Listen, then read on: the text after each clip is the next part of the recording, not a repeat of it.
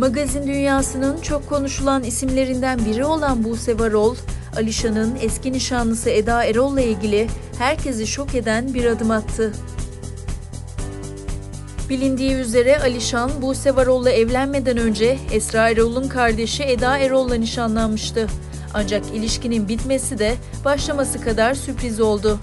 Eda Erol'la düğünlerine bir buçuk ay kala ayrılan Alişan, bir süre sonra gönlünü Buse Varol'a kaptırdı.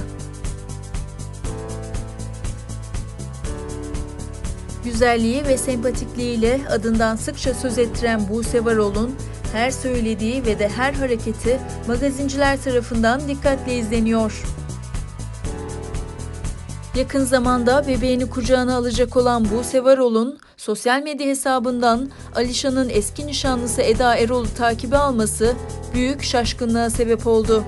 Dikkatli takipçiler tarafından anında ekran görüntüsü alınarak olay belgelendi. Buse Varol birkaç dakika içinde tekrar takipten çıktı. Olayın magazin sayfalarına düşmesiyle sosyal medya kullanıcıları Buse Varol stalk yaparken yakalandı yorumlarında bulundu. Bu gelişmelerin ardından Buse Varol birilerinin sosyal medya hesabını ele geçirmeye çalıştığını açıkladı. Açıklamada şöyle denildi. Sabahtan beri birileri hesabımla uğraşıyor, benim adıma bir takım şeyler yapıyormuş, DM'ler atıyormuş birilerine. Tanıdığım ve tanımadığım. Lütfen kimse dikkate almasın. Benim adıma rahatsızlık verdiyse özür diliyorum. Bu saatte mesela kim uğraşıyorsa Allah'a havale ediyorum. Hesabı kurtardım bu arada. Yarım saattir hesabımı geri almaya çalışıyoruz.